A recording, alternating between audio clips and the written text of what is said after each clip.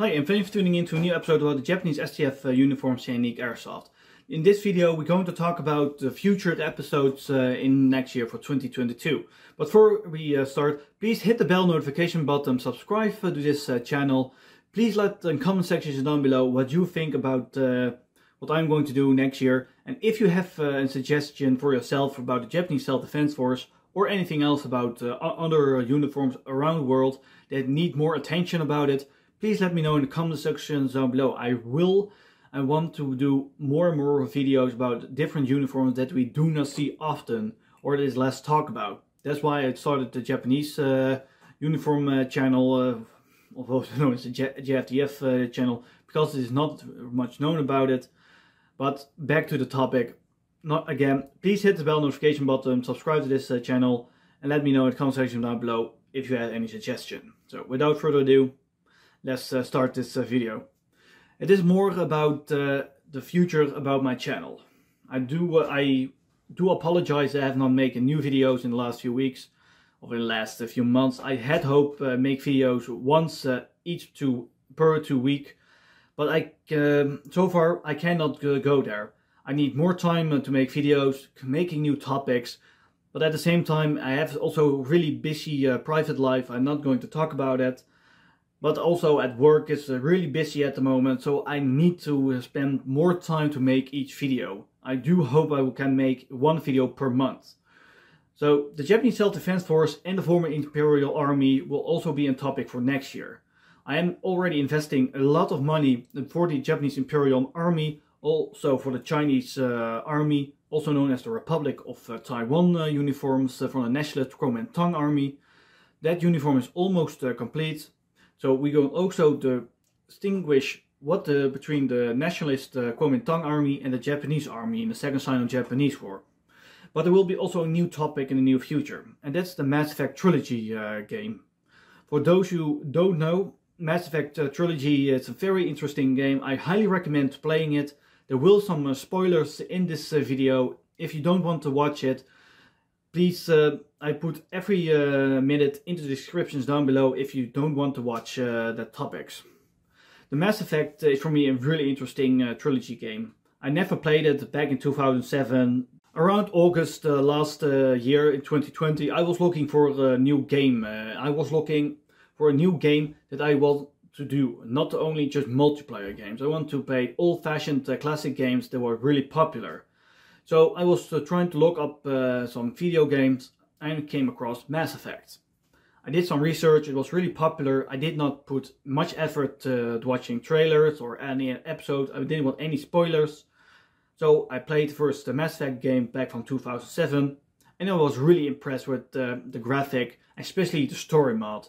Mass Effect 1 had really uh, the, the most detail about every uh, race in the galaxy from the Citadel trilogy the Volus, the Angara, uh, Turians, humans, First Contact War. It is a really interesting game. I played all three games uh, from uh, last year, but I find out new the Mass Effect uh, Legendary Edition came out uh, this year. I was really impressed. I was uh, planning to buy it also. It has some more futuristic and modernized features, like the story mode that you had back if you want to play Mass Effect 2 you have put all your information in the second one, what was more uh, than uh, the new version. So I'm really impressed.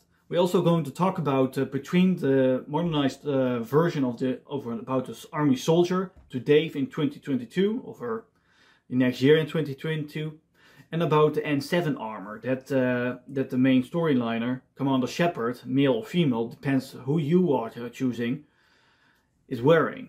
I also want to do that more in details I do, of course, I do not know what the materials uh, are. It is really difficult uh, what uh, the next armor will be in 200 years.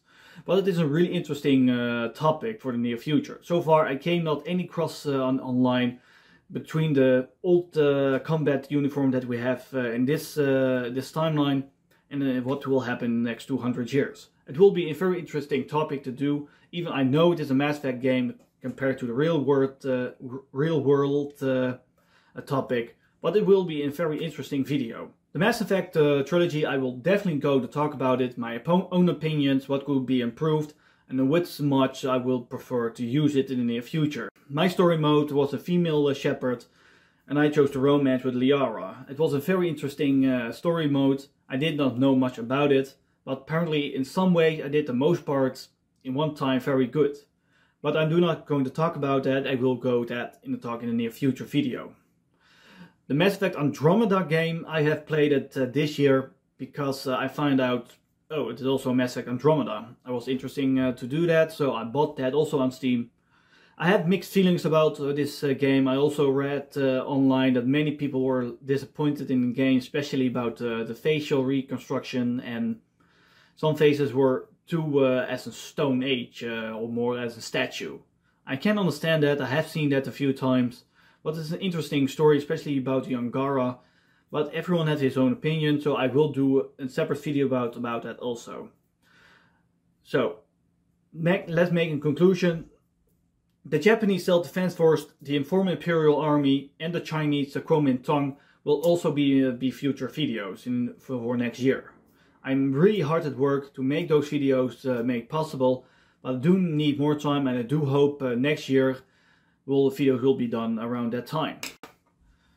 Also, we're going to talk. I also want to ask the, my viewers if you have any recommendations where I should talk about specific uniforms, about the Cold War uniforms, or about Second World War uniforms that were not many discussed uh, discussing compared to the U.S. uniform, Russian uniforms, Japanese uniforms, British, French. You also, you, everyone know uh, what they were but I do not see many uniforms from Denmark, Norway, the Netherlands, Poland for example.